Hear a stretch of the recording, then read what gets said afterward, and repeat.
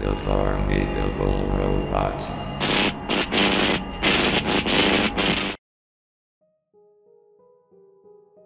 Hello, my name is Nikoli. I'm a Russian American who started living in a neighborhood for 10 years. I used to be a worker of Nickelodeon Studios back in 2004. My position shifted every once a week, being a head animator to a cartoonist, even a writer of some episodes. However, one week was the week I would never forget. During the period of the SpongeBob SquarePants movie, an episode was shelved during the period of season 3 called Enchanted Nightmares, but because they wanted to be clever, they went with the Latin phrase, Haeream Sequuntur Somnia. I was tasked with watching the episode for animation errors. Me, and a few other interns and storyboard artists all gathered around as we watched the episode. The episode started with the title card, a dark blue title card with dark red words reading the phrase, Haeream Sequuntur Somnia. We all looked at each other but we carried on. The episode started with Squidward going to his garden and inhaling before exhaling. Time to check on my carrots and veggies. Squidward said with a slight happy tone. When Squidward walked to the garden, chewing noises were heard, followed by an ear splitting cartoony burp. Oh, hey Squidward! Patrick greeted. Your veggies tasted funny. Patrick said, showing a gray carrot. Squidward was about to scream at Patrick before his face contorted into puzzlement. He grabbed the carrot and looked closely. Patrick, did all the veggies have the same gray color? Squidward asked, puzzled.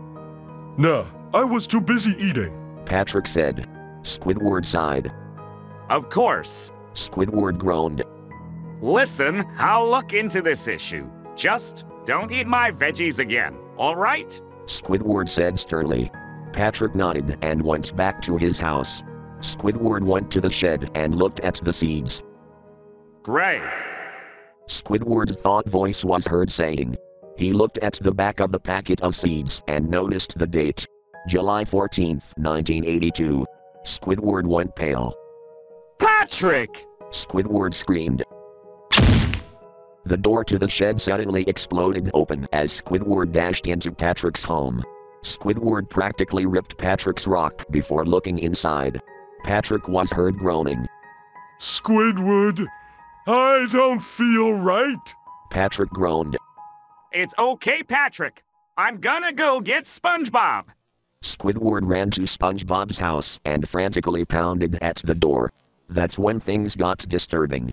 The door slowly opens and showed a close up of SpongeBob wearing his Krusty Krab hat, but something was off.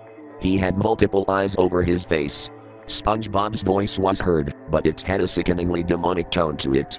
You hear him say, I'm fine, Squidward. I've been the most fine I've ever been.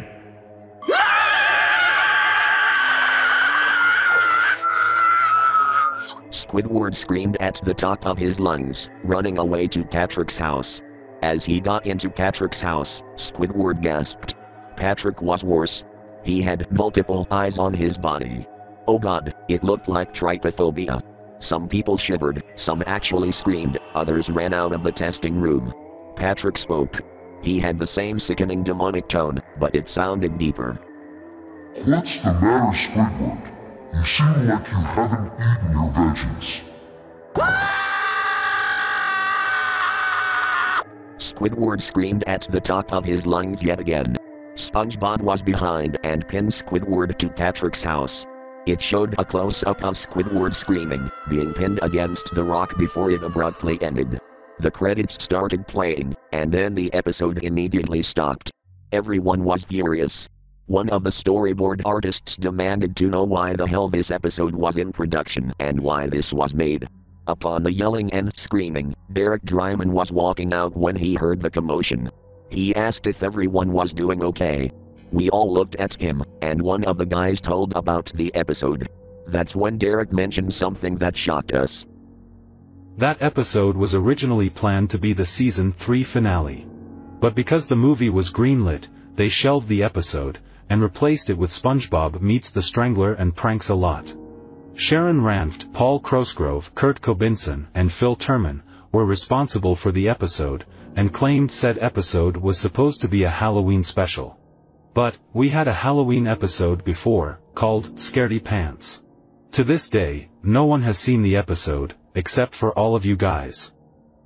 On March 16, 2016, the episode was recovered on a flash drive, ripped onto a DVD, and then given to Nickelodeon Studios, passing off as the original two episodes, not realizing said episodes were already released by then.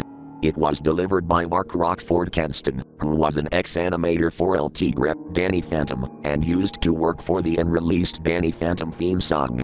As of 2024, no footage was released, with only two close-ups and the title card recovered from the pirated rip of the episode found on a website called Toontorrents with a Z, before the website was shut down. Who knows what would happen next?